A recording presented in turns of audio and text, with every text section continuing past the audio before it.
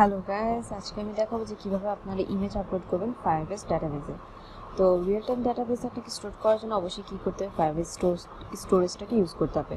Because ফায়ারবেসের rules হচ্ছে হলো কোনো একটা ফাইল অর্থাৎ ইমেজ ফাইল হোক, অথবা যে কোনো ডকুমেন্ট ফাইল হোক, ওগুলোকে স্টোর করার জন্য স্টোরেজ ইউজ করতে হবে।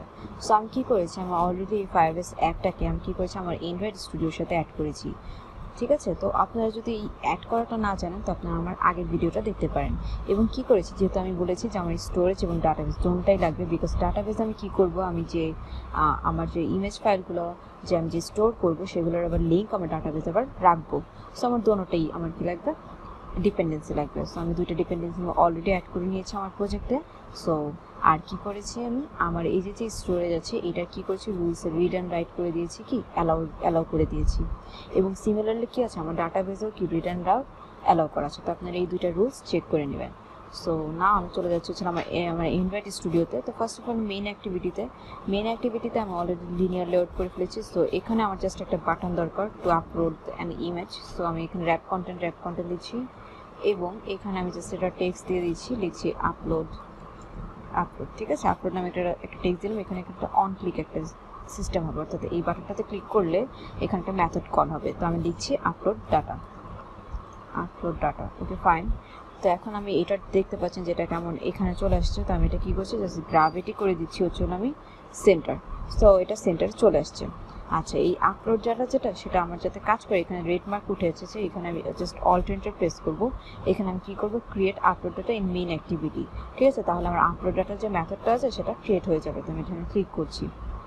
তো এখানে ক্লিক হয়ে গেছে। তো ফার্স্ট অফ অল আমি কী করতে চাচ্ছি? আমি করতে চাচ্ছি যখন ইউজার এই আপলোডটাতে ক্লিক করবে, তখন একটা উইন্ডো ওপেন হবে, যেখান থেকে তাকে সিলেক্ট করতে বলবে যে আপনি আপনার ইমেজটা সিলেক্ট করেন। তো এটা কীভাবে করবে? এটা করতে হয় ইন্টেন্টের মাধ্যমে। আমি লিখব intent intent is equal to new intent এবং এখানে কি করবে? Intent dot get action get content এটা ধরো আমরা অ্যাকচুয়ালি কন্টেন্ট নিতে পারব এই ইন্টেন্টের মাধ্যমে। ওকে ফাইন তারপর আমি লিখব ইন্টেন্ট ডট সেট টাইপ অর্থাৎ কী টাইপের সে ফাইলগুলো নিয়ে আসবে, সেটা আমি বলে দিচ্ছি, আমি বলে দিচ্ছি ইমেজ স্ল্যাশ স্টার অর্থাৎ ইমেজ টাইপের সে কী করে ফাইলগুলো পিক করবে। আমি এখন দেব start activity for result because এটা কিছু একটা নিয়ে আসবে দেন একটা রেজাল্ট হবে, অর্থাৎ সে নিয়ে আসলো কিনা সেটা আবার চেক করতে হবে। So start activity for result এখানে প্রথমত আমাকে ইন্টেন্টটা পাস করতে হবে দেন পাস করতে হয়, দুইটা প্যারামিটার পাস করতে হয় এখানে আরেকটা হচ্ছে কি একটা ভ্যারিয়েবল তো ইন্টিজার টাইপের একটা ভ্যারিয়েবল যেটা কিনা কি আপনার রিটার্ন কোড অর্থাৎ রিকোয়েস্ট যে কোডটা আছে সেটা আপনার সাথে কী করবে? ম্যাচ করতে সাহায্য করবে। অর্থাৎ পরবর্তীতে আপনার ইমেজটা উইন্ডো থেকে সিলেক্ট করলেন কিনা, সেটা আমি ট্রেস করতে পারব। তো সাপোজ আমি কি, আমি এখানে লিখছি ইমেজ ব্যাক ইমেজ ব্যাক ঠিক আছে ইমেজ ব্যাক নামে আমি একটা ভ্যারিয়েবল ক্রিয়েট করলাম এখানে আমি কি করব? অল্টারনেটিভ প্রেস করব। এখানে লেখা আছে যে স্টেপ কনস্ট্যান্ট ফিল্ড বিকজ এটা কনস্ট্যান্ট হবে, এটা কোনো কোনো চেঞ্জ হবে না। তো আমি এখানে জাস্ট লিখে দিচ্ছি, এখানে ভ্যালু মান দিচ্ছি ওয়ান অর্থাৎ আমার ইমেজটা যে ব্যাক করে নিয়ে আসলো, সেটার ভ্যালু মান হতে হবে কত? ওয়ান অর্থাৎ সে কোনো কিছু সিলেক্ট করলে অবশ্যই এটার ভ্যালু মান ওয়ানই হতে হবে। আচ্ছা তো এখন স্টার্ট অ্যাক্টিভিটি ফর রেজাল্ট যেটা করলাম, এই মেথডটার জন্য আমাকে এখন এখানে আরেকটা মেথড কল করতে হবে, সেটা হচ্ছে অন অ্যাক্টিভিটি রেজাল্ট অর্থাৎ অ্যাক্টিভিটি রেজাল্টে কী হবে? অ্যাক্টিভিটি রেজাল্টে আপনারা দেখতে পাচ্ছেন যে কি এখানে আমি কিছু রিকোয়েস্ট কোড রেজাল্ট কোড এগুলো পাচ্ছি। তো ফার্স্ট অফ অল আমাকে চেক করতে হবে হচ্ছে রিকোয়েস্ট কোড অর্থাৎ সে যখন ফিরে আসলো উইন্ডোটা নিয়ে, তার রিকোয়েস্ট কোডটা কি আমার ইমেজ ব্যাক কিনা? ঠিক আছে? তো এটা আমাকে ফার্স্ট অফ অল চেক করতে হবে যে আমার ওইটার সাথে মিলে কিনা। অর্থাৎ আমি তাকে যেটা নিয়ে আমি তাকে সিলেক্ট করতে চাইছিলাম, সে সেটা নিয়ে ফিরলো কিনা? সো আমি লিখব if request code is is equal to কি লিখব? ইমেজ ব্যাক ইমেজ ব্যাক ঠিক আছে? আচ্ছা যদি সে এটা যদি হয়ে থাকে, অর্থাৎ সে যদি আমারও দেওয়ার রিকোয়েস্ট কোডটাই নিয়ে আসে দেন আমি কী করব? চেক করব রেজাল্ট কোডটা ঠিক আছে কিনা। রেজাল্ট কোড মানে হচ্ছে যে তার সিলেক্টটা ঠিক আছে কিনা। তো আমি এখন লিখব if result code is is equal to result okay কিনা, ঠিক আছে? এটা চেক করব। দেন এগুলো যদি চেক করা যদি হয়ে থাকে দেন আমার কাজটা কি? আমি আমার এই ডাটাটা নিয়ে আসব। অর্থাৎ ডাটাটা কি? আমার একটা ইমেজ ডাটা এটাকে বলা হচ্ছে একটা ইউআরআই টাইপের ডাটা তো আমি একটা ইউআরআই টাইপের একটা ভ্যারিয়েবল নিচ্ছি, আমি লিখছি ইমেজ ডাটা ঠিক আছে? আমি জাস্ট লিখলাম ইজ ইকুয়াল টু কি করবে? এই ডাটা থেকে আমি ওই ইমেজ ডাটাটা নিয়ে আসব। তো ডাটা ডট গেট ডাটা এটা করে আমি কী করব? আমার ইমেজটা নিয়ে আসলাম। না, আমার কাজটা কি? আমি কি করব? প্রথমত আমি স্টোরেজের মধ্যে আপলোড করব, ঠিক আছে? তো আপলোড করার জন্য প্রথমত আমার স্টোরেজের নিয়ম হচ্ছিল প্রথমত আমি এখানে একটা ফোল্ডার ক্রিয়েট করি, ঠিক আছে? তো ফোল্ডার ক্রিয়েট করার জন্য প্রথমত আমাকে স্টোরেজ রেফারেন্স লাগবে।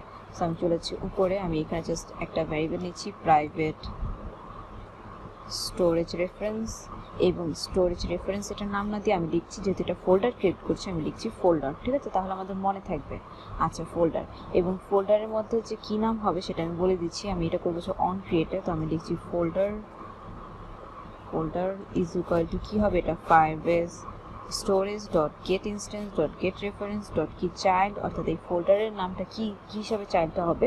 সেটা হচ্ছে আমি লিখছি ইমেজ ফোল্ডার ঠিক আছে? তার মানে আমি আসলে এখানে কি করতে যাচ্ছি? আমি করতে যাচ্ছি হচ্ছিল আমার এই যে স্টোরেজ আছে, এখানে একটা ফোল্ডার হবে, সেটার নাম হবে ইমেজ ফোল্ডার ওকে ফাইন এখন এই ইমেজ ফোল্ডারটার মধ্যে কি হবে? আমি এই ডাটাটাকে বসাবো। অর্থাৎ ডাটাটাকে দিয়ে দিব। আচ্ছা ডাটাটাকে দিয়ে দিলাম, কিন্তু ডাটাটার তো একটা নাম লাগবে, তাই না? অর্থাৎ আমার একটা ফাইলের একটা নাম লাগবে। আচ্ছা তো এটার জন্য কি করতে হবে? আমাকে আরেকটা রেফারেন্স করতে হবে। তো এটার জন্য আমি আরেকটা রেফারেন্স লিখব। এখানে আমি লিখব স্টোরেজ রেফারেন্স এবং এখানে লিখব কি? আমার ফাইল নেম অর্থাৎ আমি লিখতে পারি ইমেজ নেমও আমি লিখতে পারি image name is equal to একটু চিন্তা করে দেখেন আমার এই ফোল্ডারের মধ্যে দিব কি? আমি ফাইলটা রাখব। তো অবশ্যই এই ফোল্ডারটা আমার লাগবে।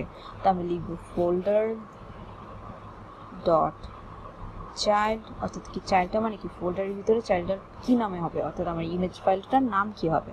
তো আমি সাপোজ লিখতে যাচ্ছি ইমেজ দেন হচ্ছে হলো আমি প্লাস অর্থাৎ কনক্যাটিনেট করতে যাচ্ছি কি? আমার এই ইমেজ ডাটার লাস্ট পাথ সেগমেন্ট অর্থাৎ আমার ইমেজ ডাটার লাস্ট পাতে যে নাম থাকবে সেটাই বসে যাবে। তো আমি লিখছি হচ্ছে image data image data dot get last path segment এটার মাধ্যমে কি করতে পারি? আমি এটা আমার এই ফোল্ডার একটা ফাইল নেম হবে, যেটার নাম হবে কি? এই যে এটা।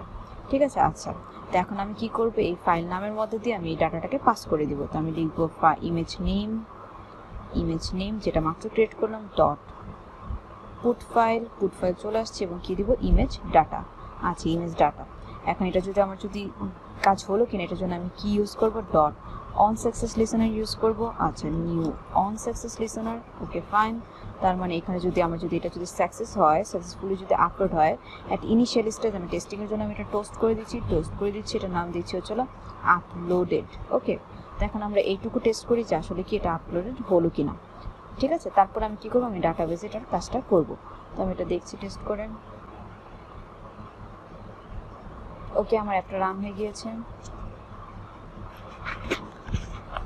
ওয়েল তো আমার আপলোড বাটনটা চলে আসে, তো আমি আপলোড বাটনে ক্লিক করলাম। ওয়েল তো এখানে আমাকে কি করেছে? আমার ইমেজ ফাইলগুলো দেখাচ্ছে, তো আমি একটা ইমেজ ফাইল চুজ করলাম গ্রিনটা চুজ করলাম। ফাইন তো এখানে দেখি কি লেখা ওঠে। ওকে আপলোডেড লেখাটা উঠেছে। আচ্ছা তো আপনারা দেখতে পাচ্ছেন এখানে কোনো চেঞ্জেস নেই। আচ্ছা এখন আমি এটা রিলোড দিচ্ছি।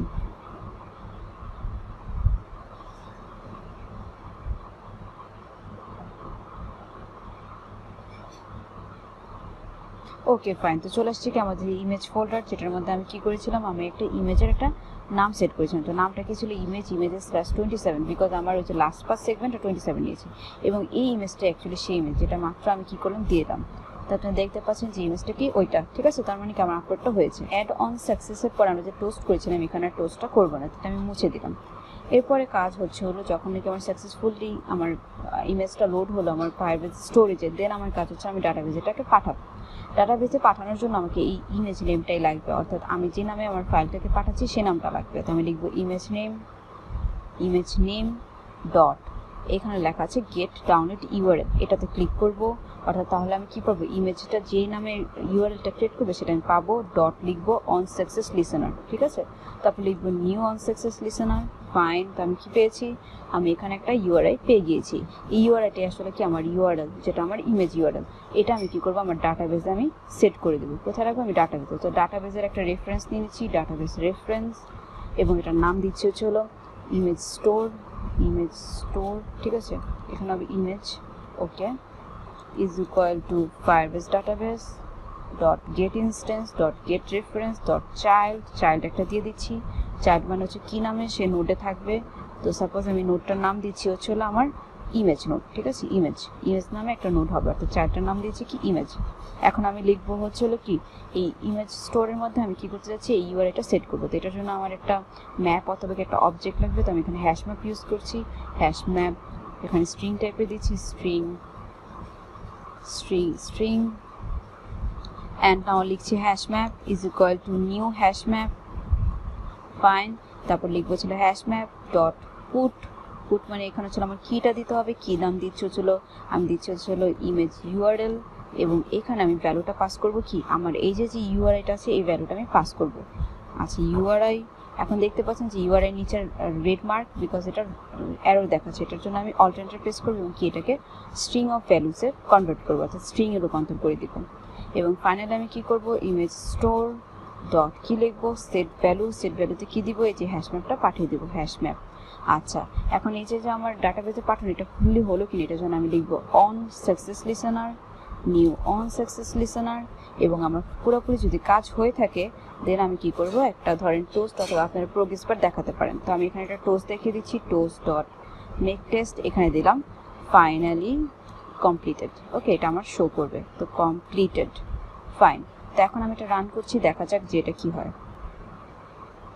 ওকে সো আমার একটা রান হলো। এখন আমি যদি আপলোড করি আপলোড করার পর আমার ফাইভের স্টোরেজে যাবে এবং তারপর কি ডাটাবেজে ওদের লিঙ্কটা আসবে। তো আমি এখন ডাটাবেজে আছি জাস্ট লিঙ্কটা দেখার জন্য তো আমি আপলোডে ক্লিক করছি।